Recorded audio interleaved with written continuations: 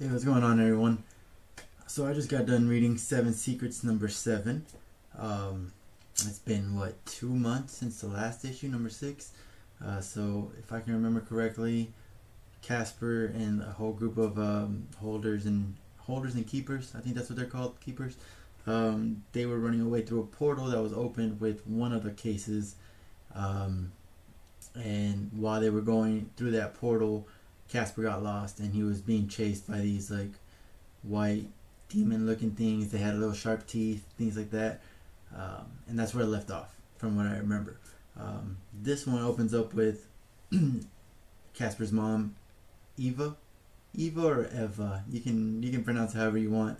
I'm gonna say Eva, but Eva and Faulan are looking for Caspar in this place, which we find out that it's called uh, Fairy. This whole land that you can see here on the on the cover here. Yeah, there you go. Um, it's called Faulan. No, I'm sorry. Faulan is the guy. Fairy.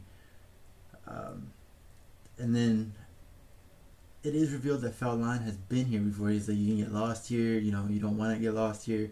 Uh, so it's like, why? Why has he been here? Um, then we go into Caspar still running away from these little demon-like creatures. Uh, and, and at first I'm thinking he's running away for his life. He's scared. He thinks he's gonna get I don't know eaten, killed, tortured. Who knows? But he's running away for his life, right? Um, but mad respect for him though, because he still has that case on the back, just like in that cover. He still has it on his back as he's swimming towards an island that he sees. Uh, he says that it feels like he's been swimming for days. But either either way, life is in danger. He still has that case. He, he had not let it go. So that was really cool of him. Uh, just a little small detail. Um, and then as he's finally like he feels like he's he can't swim anymore, he starts going under the water. Um, and he's about to die. And then out of nowhere, this like seahorse, which are called Selkies. Selkies, uh, one of them saves him, and you know he's really sarcastic. He's like, "What are you doing? Do you think you can just like evolve while you're underwater? Do you think you can breathe? Uh, if if so, if not, then like grab onto me and I can help you. You know, I can I, I can take you there." and uh, so he grabs onto this Selkie, takes him to the land, the island that he saw that's called uh, Hybrizel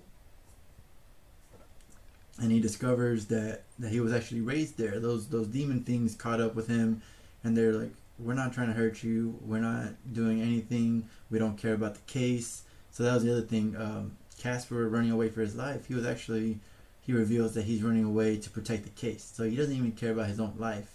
He's protecting that case. So that that's really awesome. Um, he's ready to fight, and they're just like, "No, we don't we don't care about that. We're we're here for you. We're not trying to hurt you." um, we raised you and you were raised on this land. It should be familiar to you. And so then uh, we start getting some flashbacks of him being raised uh, by these two creatures. Um, still not really sure what they're called, but this is where we find out that Faulan is the one that took him there. So they are. It's weird because I know that it took a case being opened to go to this land, and as I, if I remember correctly, they don't open these cases very often. So it I'm just like, well, okay, so you're just gonna open this case whenever you want. Uh, obviously, 15 years ago, he was there. They took him uh, to be raised for for a short time um, by these creatures. So, and, and that's how we find out Faulan was there. So that's cool. Um, Tajana, Tahana, Tajana. I'm gonna say Tajana. She's the you know the the main lady, the mother of Anan she is feared by these creatures. So like, the, I, knew she was a badass. I knew like I've I've seen her in, in the other books. She's a complete badass. But the fact that these demon-like creatures that said like, oh, I've seen other creatures that that should be feared, I still fear Tajana more. Like that's that's just incredible. I more respect for her. I love her. She's straight to the point. Uh, don't don't mess with her. Her way Highway. I love her.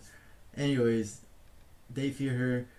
Um, as they're going back through like the whole flashback, you know, they get to a point where Caspar is on a cliff as a child, as like a little like preteen, I would say maybe 12 years old. Um, and he's like, I've never been here before. And he's like, Well, you, we didn't think you were ready before. You are now. Keep going.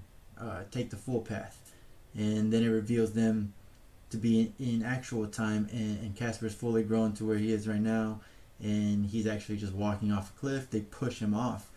At this point, I was thinking, oh, so all those flashbacks that we were having and stuff, they were fake. They they uh, were fabricated by these demons. Maybe that's like a uh, power that they have or something. But I was wrong, unfortunately, because um, then you know uh, Caspar's mom Eva, she sees Cliff about to fall off. She yells for them. She's about to fight, or she is fighting these creatures because they pushed him.